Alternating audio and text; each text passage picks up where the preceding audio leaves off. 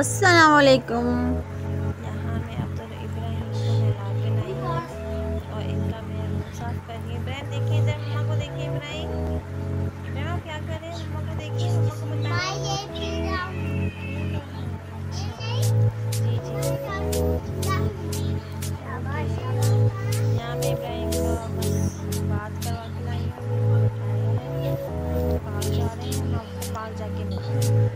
यहाँ पर अस्सलाम वालेकुम welcome back to my YouTube family कैसे हैं आप सब लोग? उम्मीद सब लोग खैरियत से होंगे।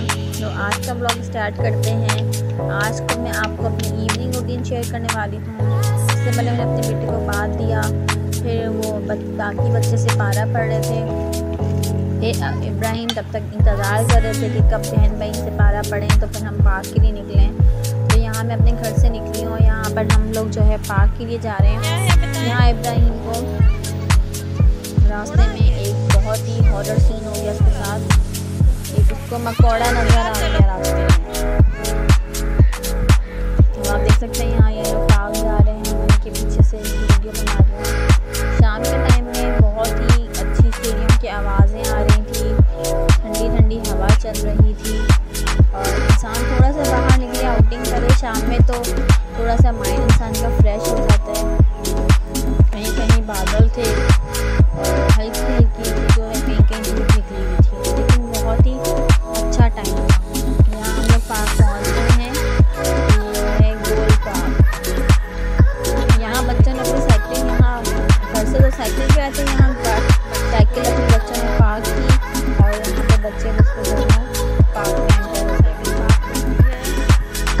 पर ये मस्तियाँ कर रहे हैं भाग दौड़ रहे हैं, उनको भी बच्चों को भी मज़ा आता है। बच्चों को भी आपको पता है आजकल एक्टिविटी चाहिए तो बच्चे यहाँ पर जो है पार्क में आए खेल रहे हैं।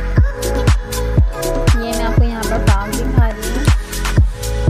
बहुत ही अच्छा टाइम है, शाम का, पौधे चिड़ियों की आवाज़ें बहुत ही अच्छा महसूस हो रहा था।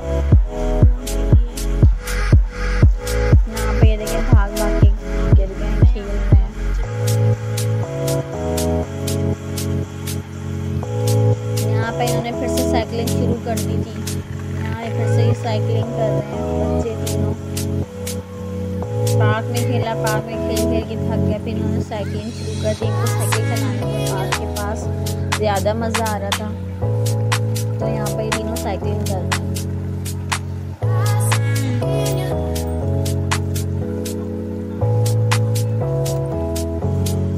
साइकिलिंग भी एक अच्छी चीज़ है।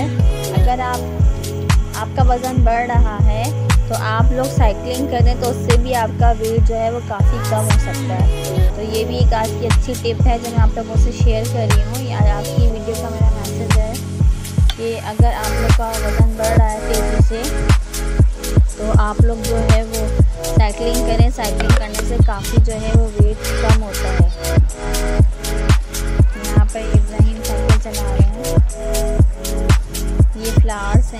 satisfacción.